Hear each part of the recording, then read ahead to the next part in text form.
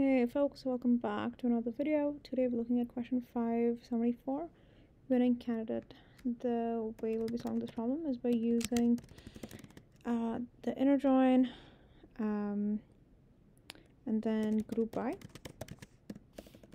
So anytime like any sort of counting is involved, you can safely assume that there's like a group by that you can use. Uh, so let's get started. The first thing that we need to do is actually just care about the columns, right?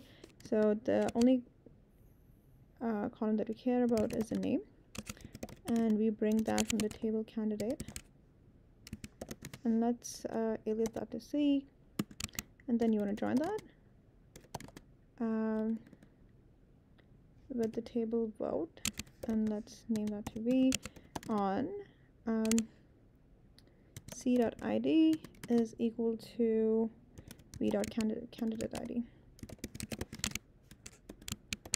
so what does this look like? So let's just try running it. Oh wait, let's just say, yeah.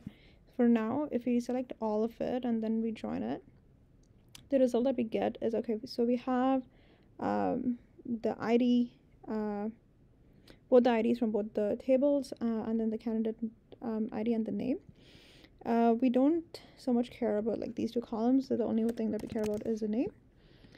And uh, the next thing that we need to do is uh, get the the count like the candidate id right so we group by uh, v dot candidate id and then um, you order them let's order by count right and when you do count or uh, any sort of uh, sorting or um, ordering it usually takes ascending order so we need to specify when it's descending. And the only thing that we need to do in the end is because we are ordering it by the descending order we just need to limit it by one.